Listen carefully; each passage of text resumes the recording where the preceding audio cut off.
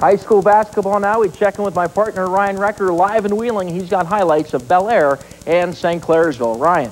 Don, this is the uh, Don. This is the Bellaire opener, and these two looking like they could be two of the area's better teams. Let's head to the highlights right now. Bellaire up 26-19 at the half. Third quarter, Nate Davis.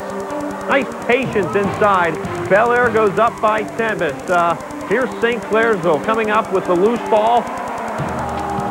Ryan Clifford running the floor behind the back, and Clifford lays it in. St. C cuts it to an eight-point lead. Third quarter winding down. It's Clifford again in transition. Finds Adam Gay wide open underneath.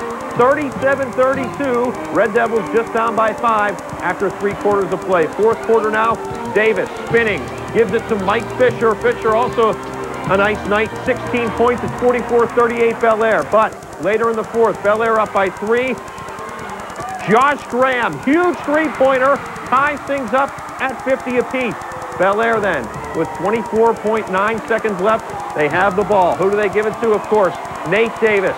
Drives in, underhand, misses, but Davis with the tip in.